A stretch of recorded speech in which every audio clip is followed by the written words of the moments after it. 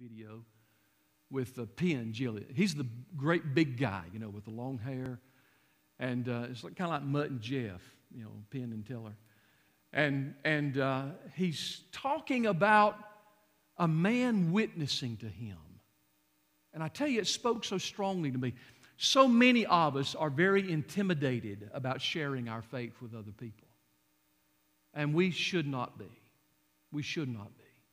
And then sometimes when people share their faith with others, and, and Penn refers to it as proselytizing, you know, when, when they do that, they do it with such arrogance and judgmentalness, you know, and, and looking down on the person that they're witnessing to and, and uh, take the biggest Bible they can possibly find and beat somebody over the head with it, you know, that, that kind of thing.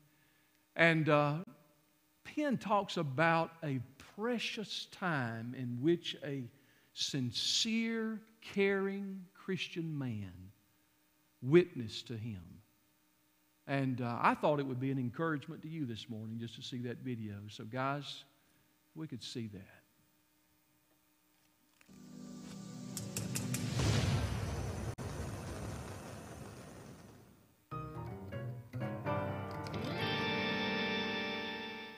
Want to talk to you about this. Uh, I get home from the show, and at the end of the show, as I've mentioned before, we go out and we uh, we talk to folks and you know sign an occasional autograph and shake hands and so on. And there was one guy waiting over to the side in the um, what I call the hover position. After I was all done, big guy, probably about my age. Big guy. And um, he had been the um, the guy who has uh, picks the joke during our psychic comedian section of the show. Uh, so he had the props from that in his hand because we give those away. He had the the joke book and the and the envelope and the paper and stuff. If you haven't seen the live show, I, uh, it's not worth explaining. But he had props from the show that we'd given him from the night before. Uh, he wasn't the guy that night.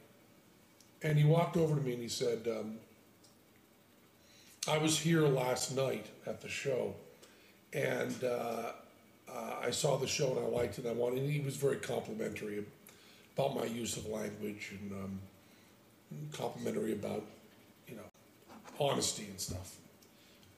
He said nice stuff. No reason to go into it. He said nice stuff. And then he said, "I brought this for you." And he handed me a uh, Gideon Pocket Edition um, I thought it said from the New Testament, but I also thought it was Psalms from the New Testament, right? Or, uh, Psalms from the New, just part of the New Testament. Little book about this big, this thick, you know. He said, I wrote in the front of it, and I wanted you to have this. I'm kind of uh, proselytizing. And then he said, I'm a businessman I'm, I'm sane, I'm not crazy. And he looked at me right in the eye and did all of this. And uh, it was really wonderful. I believe he knew that I was an atheist.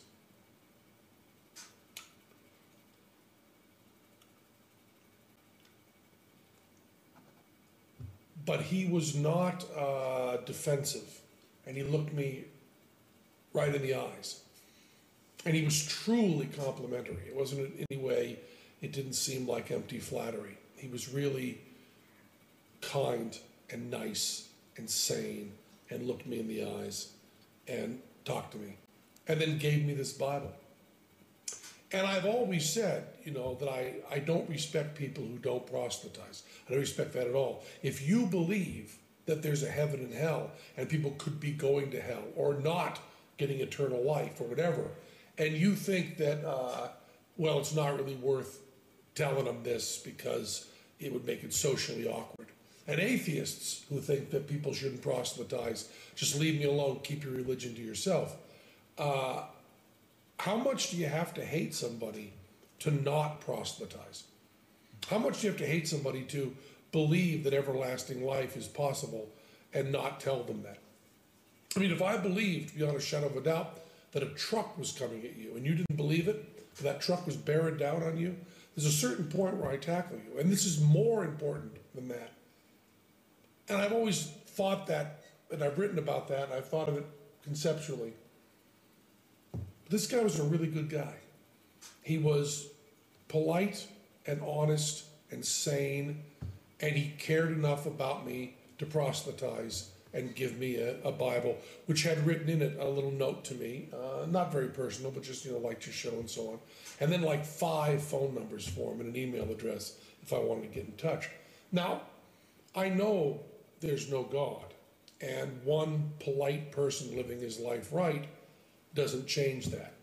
Uh, but I'll tell you, he was a very, very, very good man. And uh, that's really important. And with that kind of goodness, uh, it's okay to have that deep of a disagreement. I still think that religion does a lot of bad stuff, but man, that was a good man who gave you that book. That's all I wanted to say. Wow, right?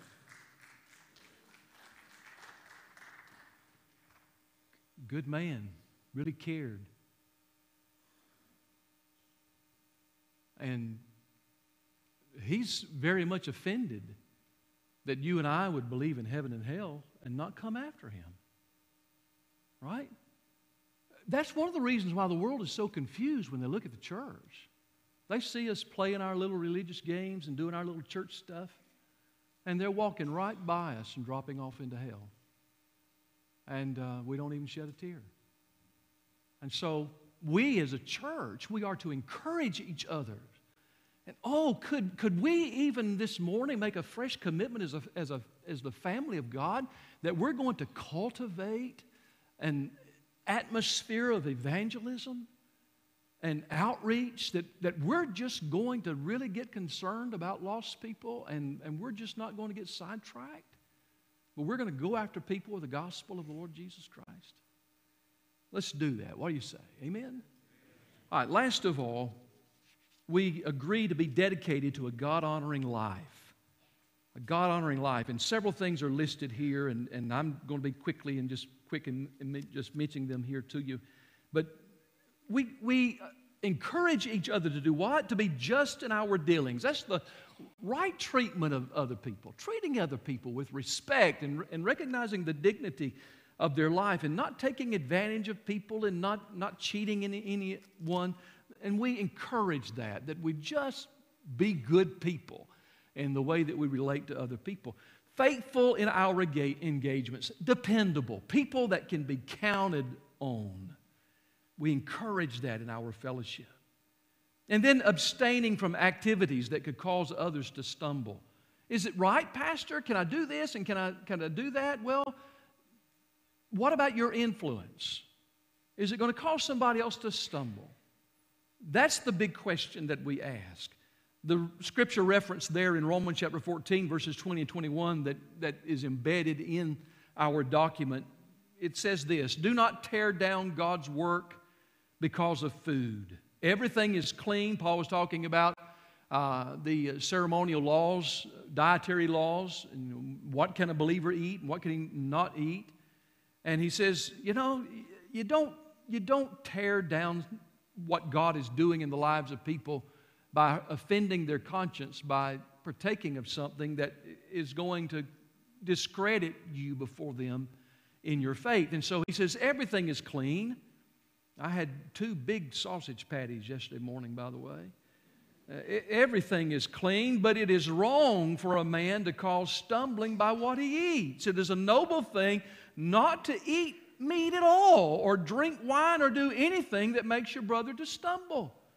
And so we encourage that kind of activity among ourselves that, that we're going to live a life within reason, that others could not find fault and would not stumble over. We want to be stepping stones that take people to Jesus. We don't want to be stumbling blocks that people fall over as they try to get to Jesus. We want to do all we can to get them where they ought to be. And a good summary statement is that next part there where he says, and conducting ourselves in our public and private lives in a manner that would glorify Jesus Christ.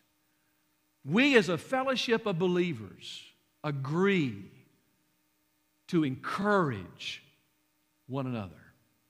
We agree to encourage one another to grow, spiritually develop through our devotional lives, privately and as families. We agree to encourage evangelism, the reaching of men and women and boys and girls with the good news of Jesus Christ. And we agree to hold each other accountable, to hold each other to the standards of Christ likeness in the very deportment of our life. The Bible says in 2 Corinthians 5:15, and he died for all so that those who live should no longer live for themselves, but for the one who died for them and was raised from the dead. Let's stand together and bow in prayer. Now, it's about six minutes after 12, but let's prayerfully move into our time of invitation and give God the opportunity of working in our midst without our hindrance. Father, I pray that during this time of invitation, that you would so speak to our hearts that we, everyone, would respond to you as we should. I pray, Lord, that people would step out of their pew and come forward and say, Today, I choose to become a follower of Jesus.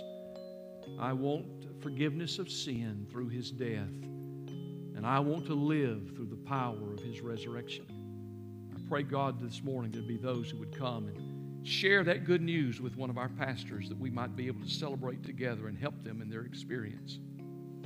We pray, Father, for those that you are leading to become a part of this fellowship by, be, uh, by becoming members of Heritage Hills. You've spoken to them today, and they know this is where they need to be. We pray that, that they would respond as you would have them to. And may this be a time of real commitment and church life decision for all of us who are privileged to be a part of this fellowship of believers. We ask this in Jesus' name. Amen. Now, this is who we are and this is what we do.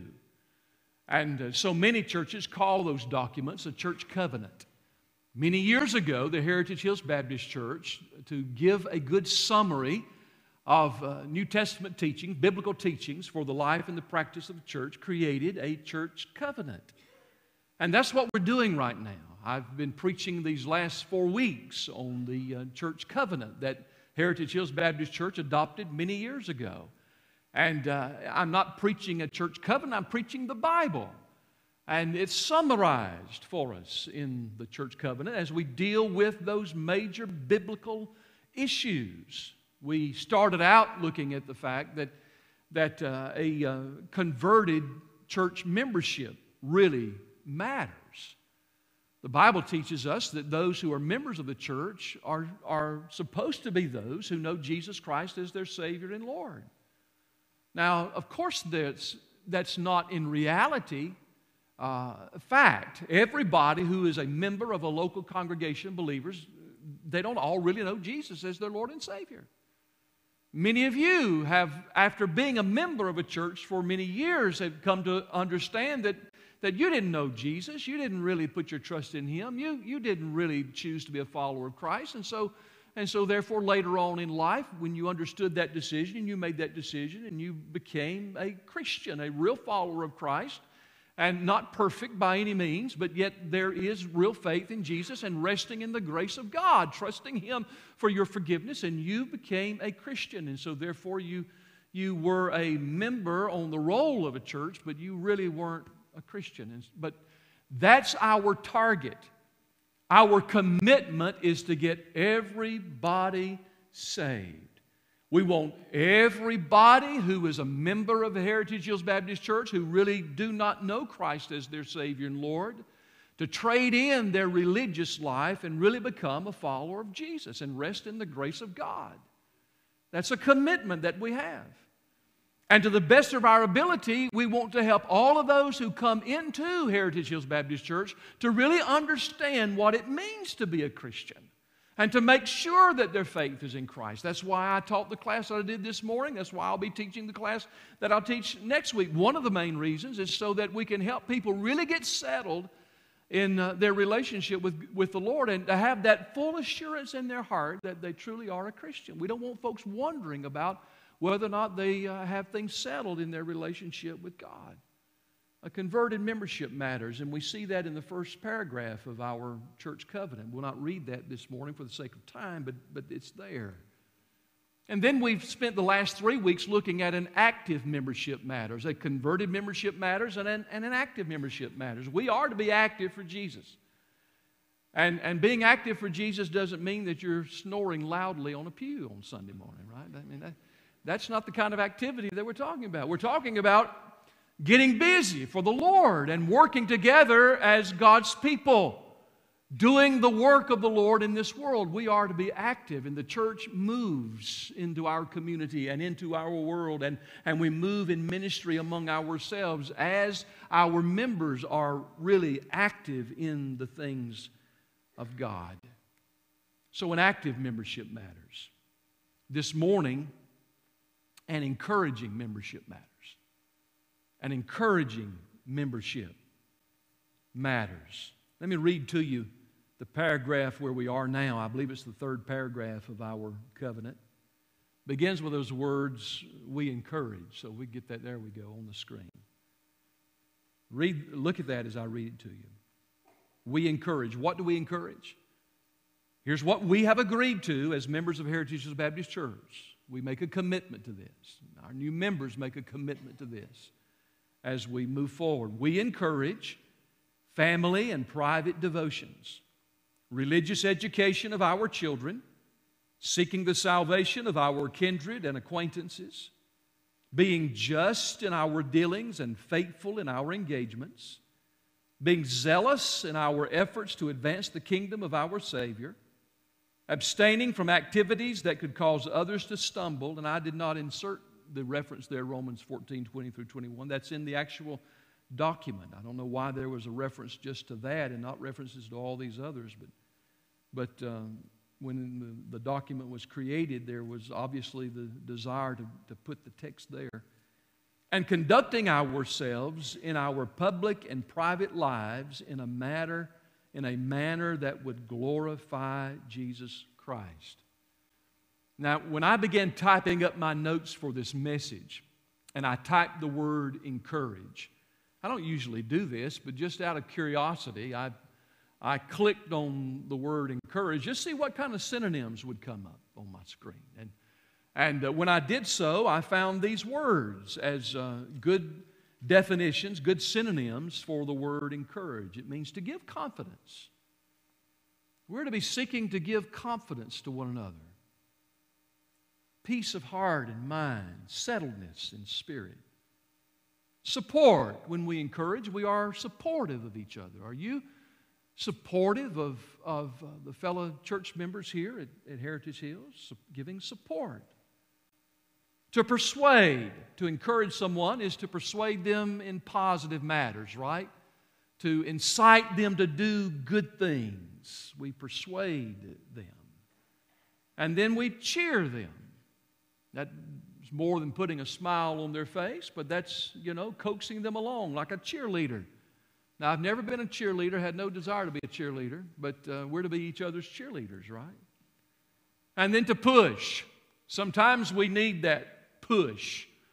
I'm not, I'm not pushing you, I'm encouraging you, right? And uh, we need to push each other sometimes to, to do what's right. You, you know, you can you can say this, and, and, and, sometimes we need to grab somebody by the nose or the ear and, and, pull them, and sometimes we can point somebody in the right direction. Sometimes we need to give somebody a push in the right direction. And, and we're all in that, right? All of us. I need to be uh, drug around sometimes, and I need to be pushed sometimes. Uh, I guess sometimes I might even need a good swift kick, but we, we need to encourage each other in the things of God and in our Christian life and experience and in the work of our Lord and Savior. Let me read to you a text. In the book of Hebrews, chapter 10, verses 24 and 25, here's what we have before us in relationship to this matter of encouragement. And let us be concerned about one another. Are you concerned about other members of this church? Let us really be concerned about each other. Care about where one another is, especially in spiritual matters. Are you concerned about the spiritual well being of your fellow church members? Are you concerned about where other people are in their relationship with Jesus Christ? Let's be concerned about uh, one another. Let's give attention to one another in order to promote love and good works. So, those are the areas that we are strongly to focus on. That we walk in the love of God and that we demonstrate the love of God and good works, engaged in those things that have eternal value to them not staying away from our meetings, not being negligent in the assembling of, of God's people, as some habitually do, but encouraging each other, and all the more as you see the day drawing near. Well, what are the particulars that we have here in our church covenant that we have identified in this document that we should be encouraging each other in? Let's just break them down. First of all, we encourage each other to be responsible for personal and family spiritual development.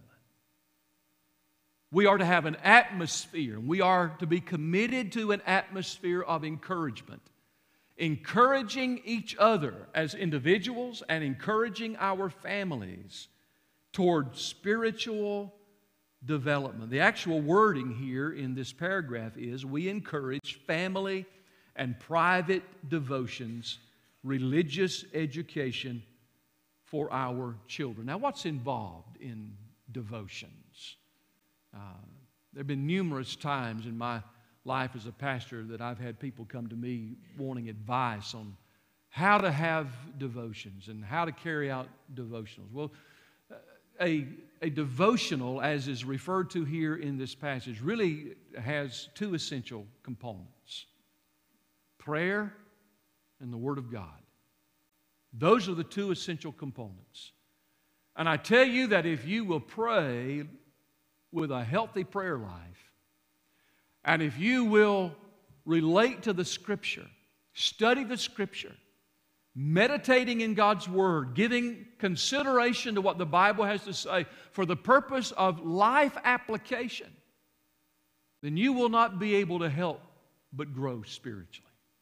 You will mature in the faith if you will give yourself to prayer and to the Word of God. Those two matters are absolutely indispensable.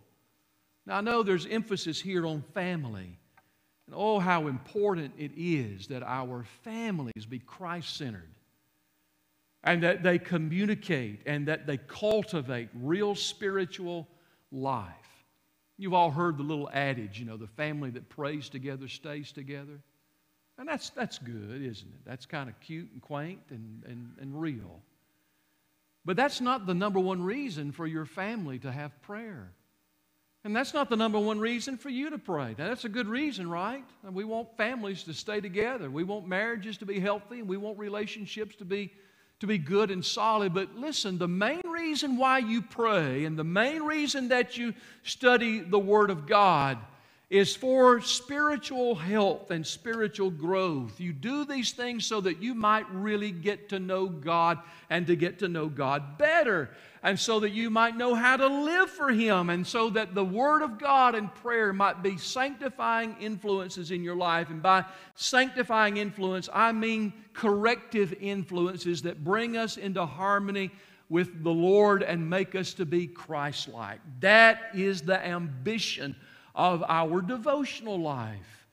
And if you don't pray like you ought to pray, and if you don't get into the Word of God like you ought to get into the Word of God, you cannot be spiritually healthy.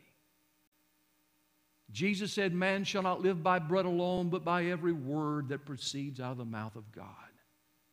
Oh, if you're going to have a healthy soul, you better feed your soul with God's Word. And there is special admonition to the dads to bring up their children in the nurture and the admonition of the Lord. And we're to encourage that. We're to encourage that kind of environment in our church life. Now, let me move on. Not only do we encourage uh, the uh, personal and family spiritual development, but we also, according to our document, we encourage one another to be committed to evangelism. We encourage each other to be committed to evangelism. Look at the wording here, and I'm going to skip around or, or skip over some of the material in this paragraph. But, but let's look at it. It starts, starts out, guys, with the word seeking, seeking the salvation. You see that? See if you can pull that up. I'll put on, there you go. Aren't they good? Give them a hand. You don't know the high blood pressure I cause these guys up here. You, you really don't know. They're good and patient and kind and all those good things. You know, they're, they're that toward me, and I appreciate that. Seeking the salvation of our kindred and acquaintances. We encourage each other to win their family members to Jesus and the people in their neighborhood and the people that they work with and the people they go to school with. We cultivate that environment. We talked this past weekend in our deacons retreat. And by the way, I just had the greatest time with our deacons this weekend. We've got a great group of guys. We really do. And, and what a wonderful time we had together. And one of the things we talked about as we began to, to wind up is how, how our deacons need to be more given to help cultivate an atmosphere of evangelism in our life groups and in the ministries of our church. And so we encourage evangelism.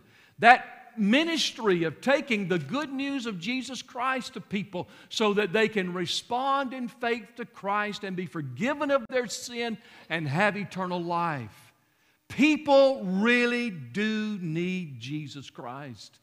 And oh, how great that need is.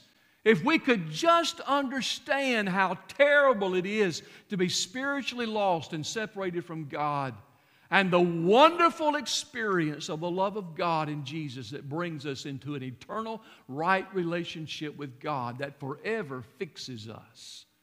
Oh, how people need Jesus. There's no need in anybody's life like the need for the Lord Jesus Christ.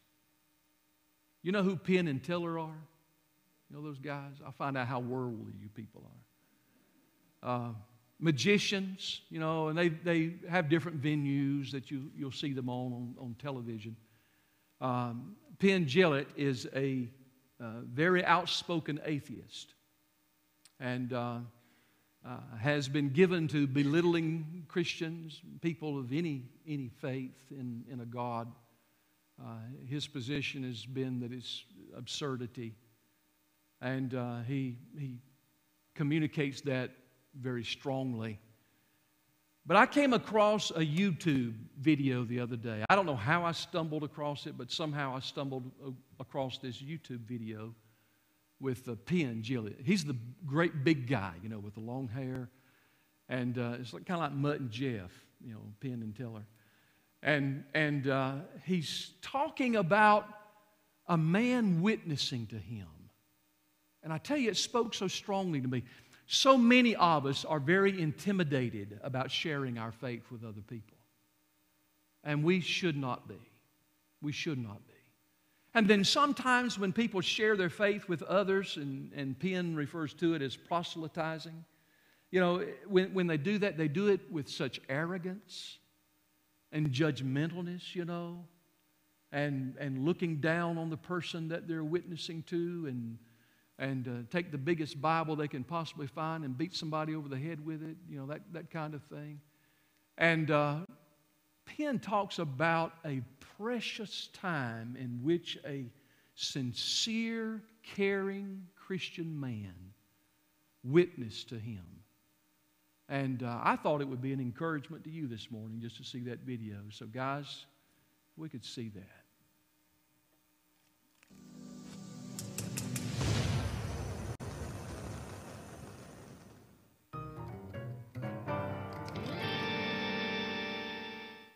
Talk to you about this. Uh, I get home from the show, and at the end of the show, as I've mentioned before, we go out and we uh, we talk to folks and you know sign an occasional autograph and shake hands and so on.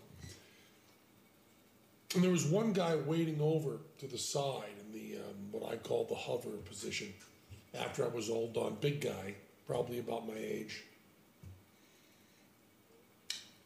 big guy. And um, he had been the, um, the guy who has uh, picks the joke during our psychic comedian section of the show. Uh, so he had the props from that in his hand because we give those away. He had the, the joke book and the, and the envelope and the paper and stuff. If you haven't seen the live show, I, uh, it's not worth explaining. But he had props from the show that we'd given him from the night before. Uh, he wasn't the guy that night. And he walked over to me and he said, um, I was here last night at the show, and uh, uh, I saw the show and I liked it. I wanted. He was very complimentary about my use of language and um, complimentary about, you know, honesty and stuff. He said nice stuff. No reason to go into it. He said nice stuff. And then he said, I brought this for you. And he handed me a uh, Gideon Pocket Edition. Um, I thought it said from the New Testament, but I also thought it was Psalms from the New Testament, right? Or, uh, Psalms from the New, just part of the New Testament. Little book about this big, this thick, you know. He said, I wrote in the front of it, and I wanted you to have this. I'm kind of uh, proselytizing. And then he said, I'm a businessman. I'm, I'm sane. I'm not crazy. And he looked me right in the eye and did all of this. And uh, it was really wonderful. I believe he knew that I was an atheist.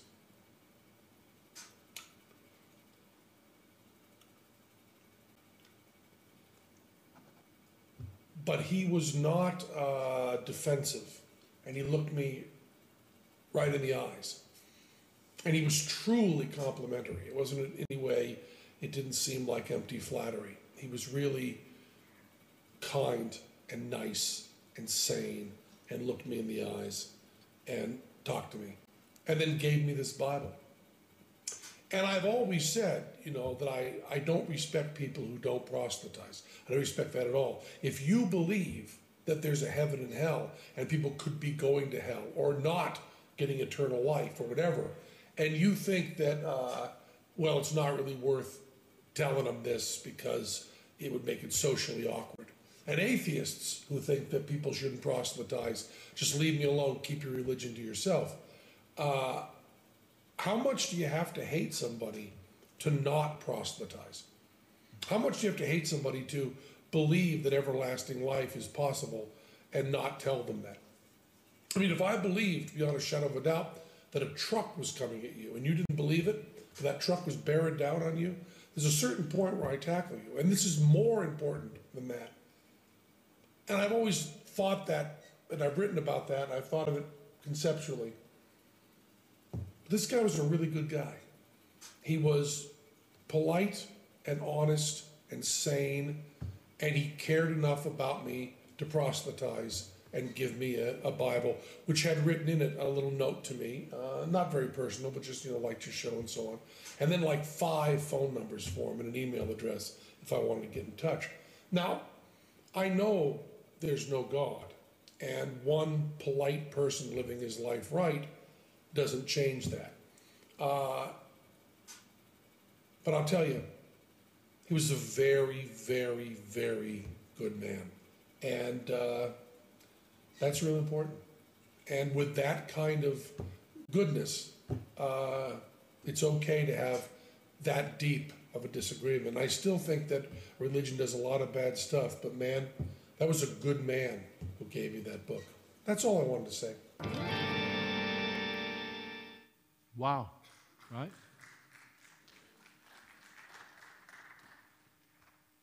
Good man, really cared. And he's very much offended that you and I would believe in heaven and hell and not come after him. Right? That's one of the reasons why the world is so confused when they look at the church. They see us playing our little religious games and doing our little church stuff, and they're walking right by us and dropping off into hell. And uh, we don't even shed a tear. And so we as a church, we are to encourage each other. And oh, could, could we even this morning make a fresh commitment as, a, as, a, as the family of God that we're going to cultivate an atmosphere of evangelism and outreach, that, that we're just going to really get concerned about lost people and, and we're just not going to get sidetracked? But we're going to go after people with the gospel of the Lord Jesus Christ. Let's do that. What do you say? Amen? All right, last of all, we agree to be dedicated to a God honoring life. A God honoring life. And several things are listed here, and, and I'm going to be quickly and just quick and, and just mentioning them here to you. But we, we encourage each other to do what? To be just in our dealings. That's the right treatment of other people, treating other people with respect and, and recognizing the dignity of their life and not taking advantage of people and not, not cheating any, anyone. And we encourage that, that we just be good people in the way that we relate to other people. Faithful in our engagements, dependable, people that can be counted on. We encourage that in our fellowship. And then abstaining from activities that could cause others to stumble. Is it right, Pastor? Can I do this and can I, can I do that? Well, what about your influence? Is it going to cause somebody else to stumble? That's the big question that we ask. The scripture reference there in Romans chapter 14, verses 20 and 21, that, that is embedded in our document, it says this Do not tear down God's work because of food. Everything is clean. Paul was talking about uh, the ceremonial laws, dietary laws, and what can a believer eat and what can he not eat.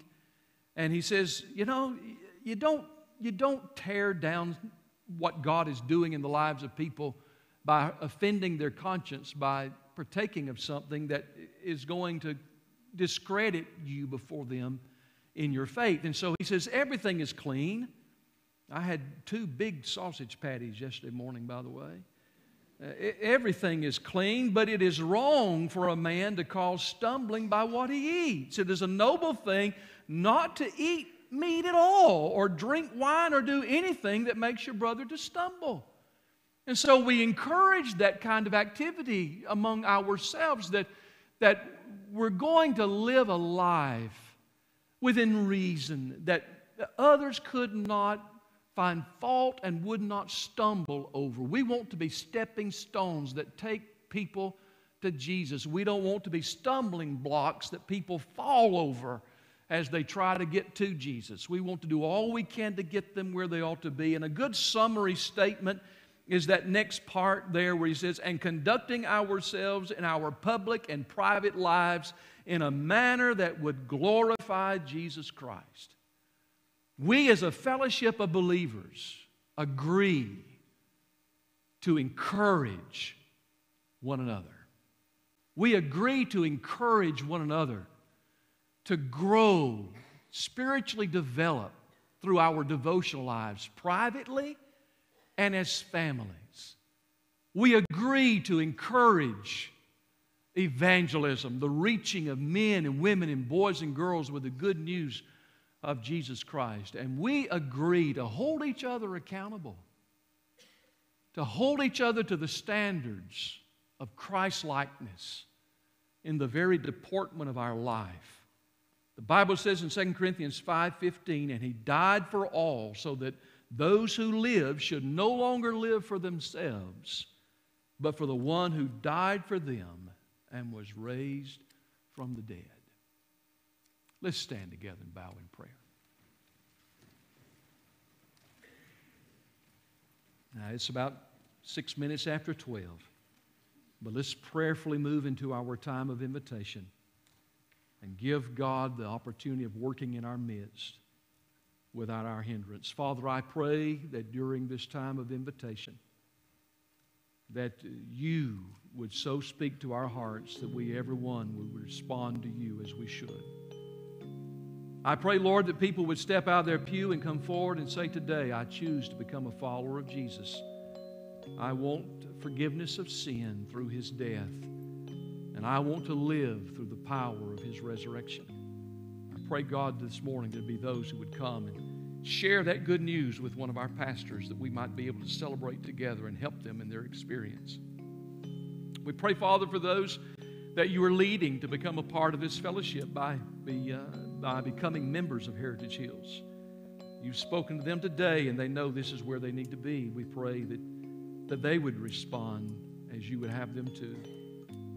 And may this be a time of real commitment and church life decision for all of us who are privileged to be a part of this fellowship of believers.